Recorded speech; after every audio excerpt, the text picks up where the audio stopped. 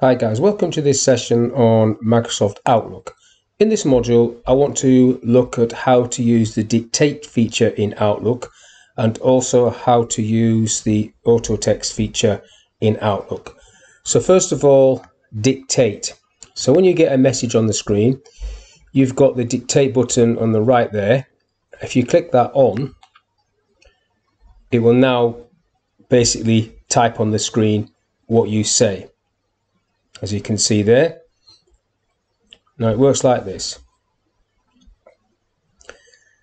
New line.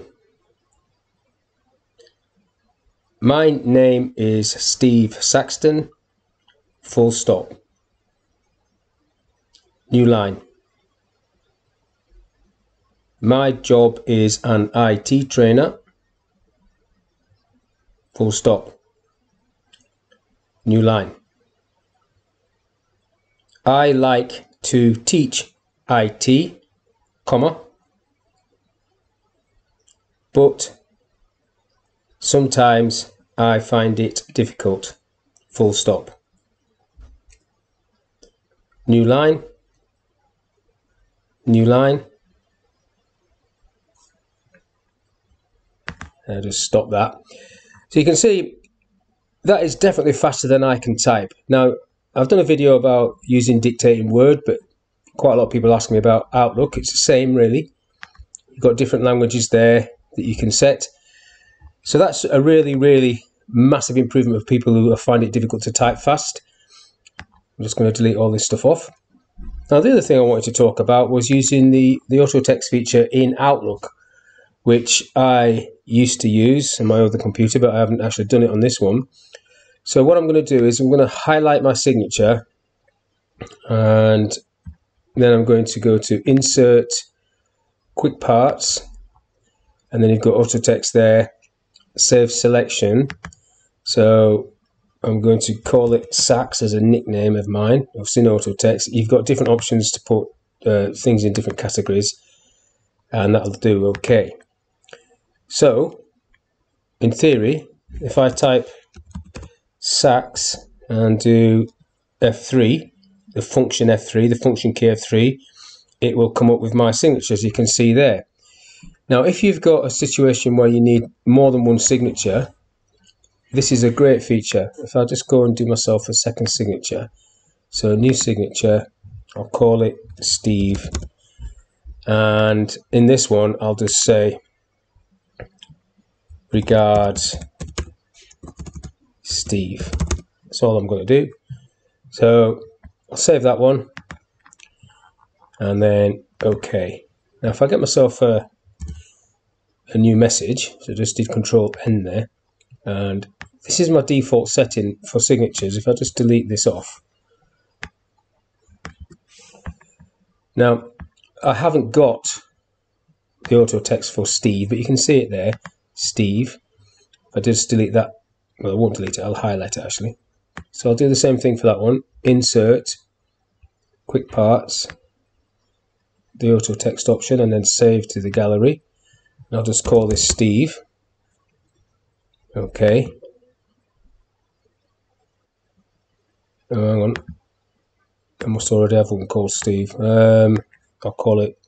In fact what you should do if you just call it a three letter word it's um, you need to activate it with the F3 key.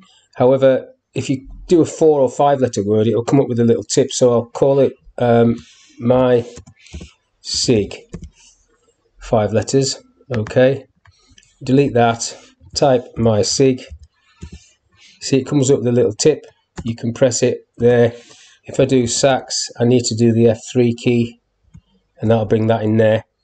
So rather than going um, to the signature block every time to select from the list, you can just create multiple options in this list and bring it in. Now, I did see a company once where this was absolutely full of text blocks. Basically, people had, instead of using the signature feature, um, they'd added paragraphs of text in there so they could drop different paragraphs into a email now that's not what should go in signature. That's that's this is exactly what it says on the tin, a signature. What they should have used and what I did actually show them was just this.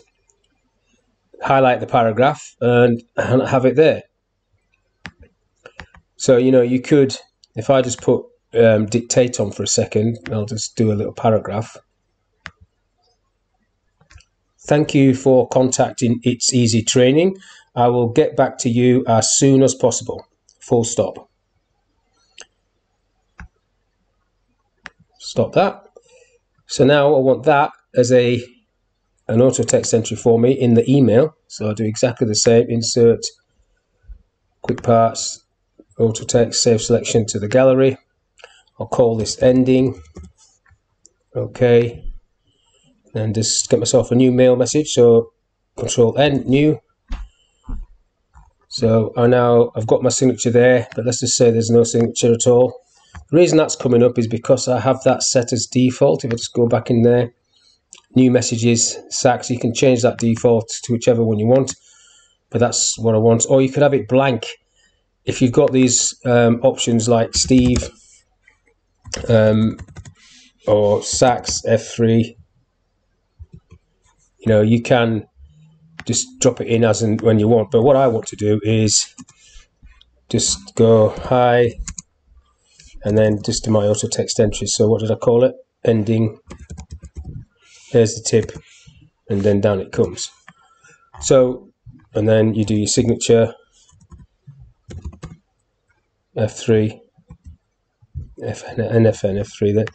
Some laptops have got the uh, function keys on the quick links. I need to change mine, but there's the signature.